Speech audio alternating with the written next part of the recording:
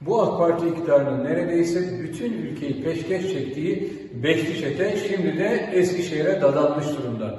Şu ana kadar aldıkları ihalelerden kazandıkları yetmemiş, şimdi gelip bizim Nihal Gazi- Gazi'mize, Sarıcakaya'mıza, Tepebaşı'mıza el atıyorlar. Orada zehirli bir şekilde siyanürle altın, gümüş aramak için tesis kurma peşindeler. Madenciliğe karşı değiliz ama toprağı, havayı, suyu, gıdayı, hayvanı bitiren, öldüren, zehirleyen madenciliğe sonuna kadar karşıyız.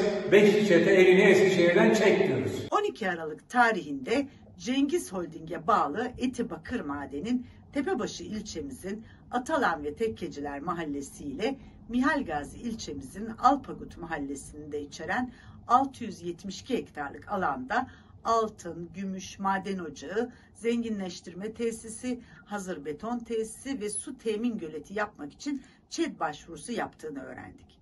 Aslında ben 2019 yılında Mihal Gazi ilçemizin Alpagut mahallesi Karatepe mevkiinde aldığımız ağaç kesimi ihbarı sonucu bölgede incelemelerde bulunmuştum.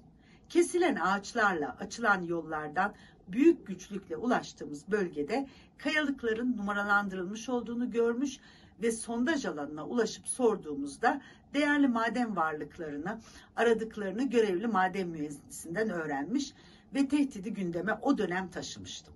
Yıllardır süren sondaj çalışmaları sona ermiş bulunuyor ki ÇED başvurusunda bulunmuşlar. İç Anadolu ve İstanbul'un yeşillik ve sebze gereksinimi bölgeden karşılanıyor.